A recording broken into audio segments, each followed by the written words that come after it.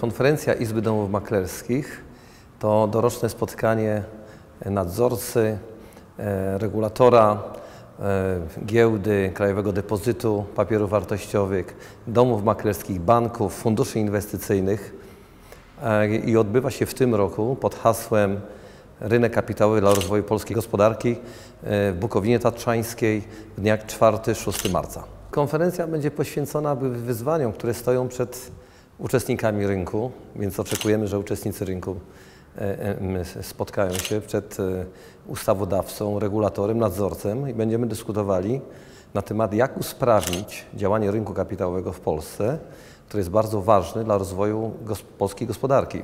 Przewidujemy osiem bloków tematycznych, w ramach których będziemy omawiali główne aspekty związane z rozwojem rynku kapitałowego, związane E, ze zwiększeniem jego roli w finansowaniu polskich przedsiębiorstw.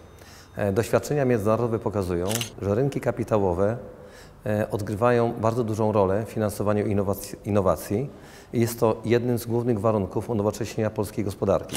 Dlatego będziemy chcieli rozmawiać o tych aspektach rynku kapitałowego, które zwiększą finansowanie polskiej gospodarki przez rynek kapitałowy.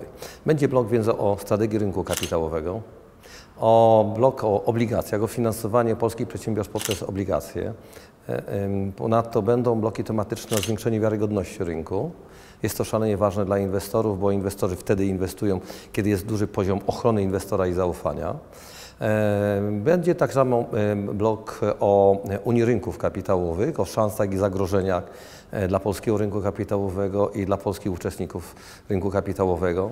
Także będą, e, będzie bardzo ważny blok tematyczny na temat, co dalej z dostępem polskich przedsiębiorstw do E, kapitału, biorąc pod uwagę e, taką tendencję migracji kapitału e, za granicę, czyli coraz większych inwestycji zarówno inwestorów indywidualnych, jak i funduszy inwestycyjnych i funduszy emerytalnych za granicą. Bo o co nam chodzi? Chodzi o nam o to, żeby uznać, że rozwój rynku kapitałowego powinien być jednym z priorytetów polityki gospodarczej państwa, że jest to polska racja stanu. Dlaczego? Bo rynek kapitałowy jest warunkiem unowocześnienia gospodarki, albo jednym z kluczowych warunków unowocześnienia gospodarki. Że rynek kapitałowy jest to warunek finansowania e, średnich i małych przedsiębiorstw, które często na wczesnym etapie rozwoju mają ograniczony e, dostęp do kredytu bankowego. Co to znaczy? Że rozwój rynku kapitałowego jest to jeden z warunków budowy gospodarki o charakterze nieperyferyjnym, silnym sektorem firm prywatnych mających centra i kompetencji w kraju. Ta konferencja nieprzypadkowo jest organizowana e, w Polskich Górach, czy w Bukowinie Tatrzańskiej.